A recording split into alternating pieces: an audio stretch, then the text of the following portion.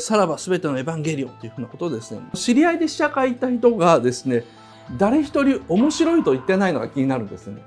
地球に次々と襲ってくる使徒って何なのかっていうのは、オウムじゃねえかなというふうに考えました。あの、腹違いの子供が出てきてですね、て、ほ、てめえ、信者は本当に俺の息子なのかというふうなことでですね、ボッコンボッコン殴り合うですね。しかし、またもやですね、彼らは愚かに殺し合うので、またもやリセットされてしまってですね、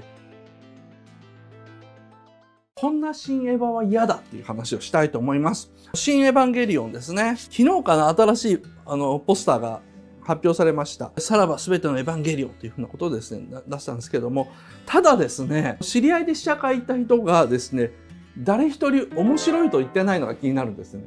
いかにもエヴァらしかったとか、本当に完結したんだって言うんですけども、なぜか、いや別に多分みんな内容言わないようにしてるだけかもわかんないですけども、誰もね、面白いって普通に言ってないところがちょっと気になる。エヴァらしい。ん？ちょっとね、気になるところなんですけども。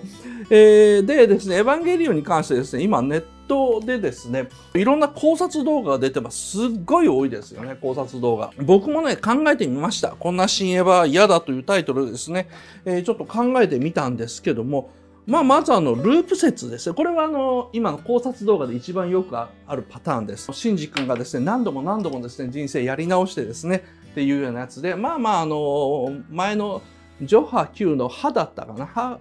か、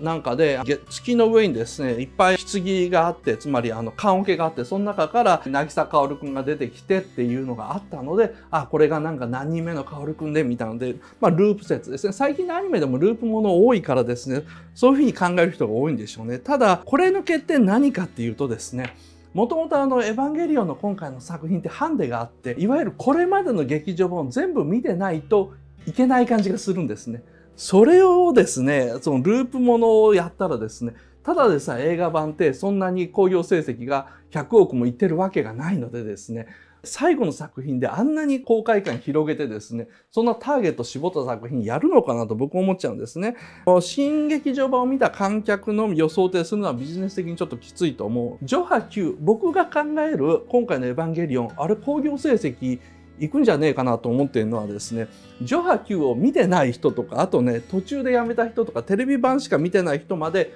ターゲットにしてるんじゃないかなって思ってるからです。これ本当に純粋な妄想ですよ。だからここまでの拡大公開というですね、勝負に出たんじゃないかなと思っててですね。ということで僕が2年、2、3年前から出したのがヒルメロ説ですね。碇シンジ、あと、えー、綾波レイかな？今、レイ、アスカはすべて父親が違うだけでですね、母ユイです。碇シンジのですね、お母さんユイの子供っていう考え方ですね。で、マリは多分ユイのクローンだろうと。ということですね、奥さんのクローンと腹違いの子供が出てきてですね、て、ほ、てめえ、信者は本当に俺の息子なのかというふうなことでですね、父玄道と母ユイが乗る2台のエヴァンゲリオンがボッコンボッコン殴り合うですね、どっちき合いになると。で、ファイナルインパクトっていうのは母ユイが繰り出す左フックのことじゃないかなという、いわゆるあの、リングのお狙いの時代ですよね。あの、ギャラクティカマグダムのあの時代で、あれをファイナルインパクトっていかにもなんかありそうだからなというので、まあそんな感じで、なんか、最新のエヴァ予告編見たらですね、エヴァ13号機と初号機が戦ってるんですよね。で13号機って2人乗りだったので、ああ、あそこに何かその、あのー、ななんか二人がかりで乗ってて、お父さんと戦うのかなという思ってるんですけども、まあわかりません。ナウシカ通説ですね。えー、これですね、ちょっとあの、昨日あたりから考えたんですけども、使徒っていうのは何なのかと、いわゆる地球に次々と襲ってくる使徒って何なのかっていうのは、オウムじゃねえかなというふうに考えました。あの、人類保管計画っていうのはそもそも何かというと、人の心をつなぐ世界つまり正常な世界なんですね。誰しもの心が全てオープンになって分かり合える世界だから正常な世界なんですよ。でそれってまるで不快の底と同じなんですね。ナウシカの不快の底が正常な世界だったのと同じようにですね。でナウシカの原作版でですねそういう正常な世界には人間は生きられないというふうに書いてあるんですね。考えてみたら変だったと。こんな簡単なマスクでなんで不快のなあの近くで生きられるのかと。それは人間すらがすでにもう調整されていたからだ。話だったんですよね。で、えー、不快の森もオウムも自然かと思ったら、あれはかつての人類が調整した人工生命だったんだ。私たち人間も人工生命だったんだ。だから、あの正常の世界で生きていけなかったんだって。これがな原作版のナウシカなんですけど、それじゃねえかなと。つまり人類保管計画が完成しちゃったら、そんな正常な世界では汚れた人間は生きていけないと。なので改造される必要があると。これがその人類保管計画なんじゃないのかなっていうですね、ナウシカ通説ですね。なので、エヴァ Q、ジョハ Q の Q に出てたミサトたちは、まあ、漫画版のナウシカたちと同じですね、すでに保管計画が発動した後のですね、人造人間たち。しかし、またもやですね、彼らは愚かに殺し合うので、またもやリセットされてしまってですね、しましまうというですね、まあ、劇場版イデオンの方へ流れるんですね。だから、まあ、ナウシカ通説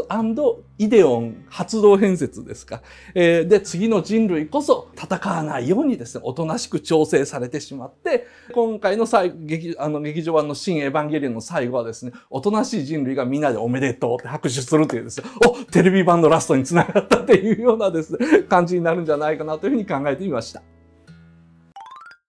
映画館に行く前ですね。まだあの見てない人のために話をします。えー、どこまで準備すべきかなんですけども、まあ、あの結論から言っちゃうとこれ僕の意見ですよ。あの実はね、あの準備ゼロでいいんですよ。なんでかっていうと、ものすごい最終回を見た気分なんですよ。最終回を見たって気分なんでですね、その後気になれば、別にあのその前を遡ってみれば大丈夫だと思います。で、あと、まあ一度でもエヴァのどれかを見たことがある人はですね、思い出すだけで十分で、別にあの、見直してから行こうとかですね準備ができてないからまだ行けないって僕はあんまり考えなくていいんじゃないかなと思思ってます。抑えるべきポイントはまずテレビ版のあのエヴァンゲリオンテレビシリーズを見た人はですね、まあ、その後に劇場版が作られて見たことないキャラが出てくるっていうことだけあの覚えておいて押さえておいてくださいというか分かっておいてください。あのでいつの間にかあのもうね使徒というのが敵ではないということ。あれを敵と戦うようなエヴァはテレビ版の方でもう終わっちゃってるということ。この辺もですね押さえておいてください。旧劇場版だけ見た人はですね